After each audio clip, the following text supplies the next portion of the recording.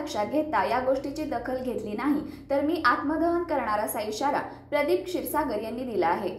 झालेली कामे ती पण चांगल्या प्रकारे झाली नसल्यामुळे वेळोवेळी पाईपलाईन फुटून शेतीचे मोठ्या प्रमाणात नुकसान होत आहे. यासाठी या कामाची चौकशी करण्यात यावी.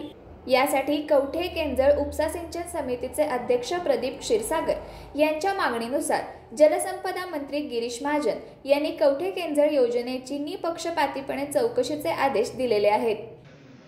प्रदीप कृष्ण क्षीरसागर अध्यक्ष जल कवठे केंजळ उपसा जलसिंचन योजना पाणी संघर्ष समितीचा अध्यक्ष आहे मी. आणि ही योजना गेली वीस वर्षापासून रखडलेली आहे. आणि रखडलेली योजना हे आघाडी शासनाच्या नियंत्रणाखाली चालू होती. तत्कालीन मन शरद पवार साहेब यांच्या हस्ते याचं भूमिपूजन झालेलं आहे.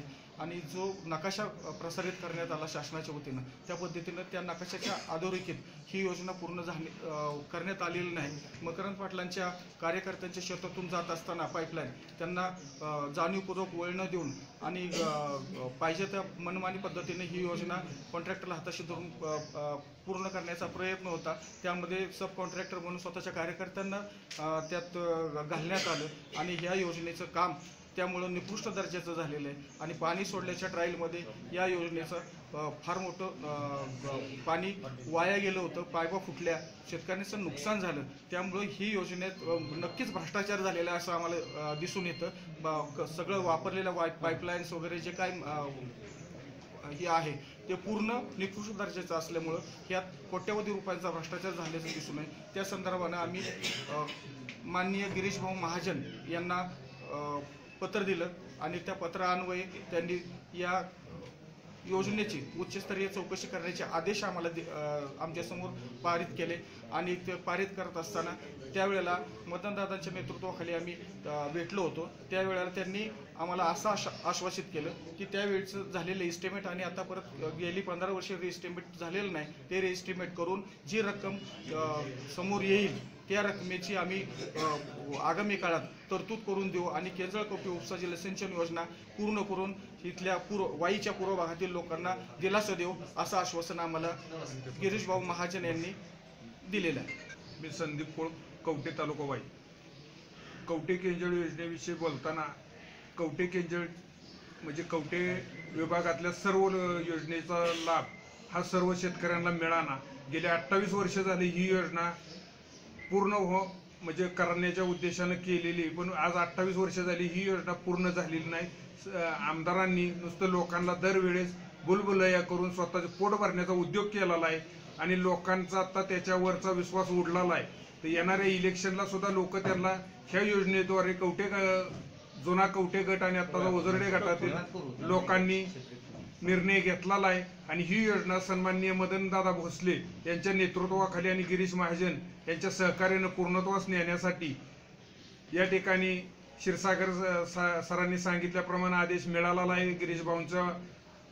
आणि त्या पद्धतीनं ह्या योजनेत झालेला भ्रष्टाचार हा थोड्या दिवसातच लोकांच्या समोर येईल. आणि ही योजना पाणी सोडताना सुद्धा पिण्याच्या नावाखाली सोडलं जायचं पण स्वतःच्या शेतीसाठी आमदारांनी आणि काही त्यांच्या सहकार्याने वापर केला आणि ह्या योजनेत अतोनात भ्रष्टाचार झालेला आहे तरी ह्याची सखोल चौकशी होऊन योग्य तो शेतकऱ्यांना न्याय मिळावा आणि योजना लवकरात लवकर पूर्ण व्हावी हीच आमची इच्छा.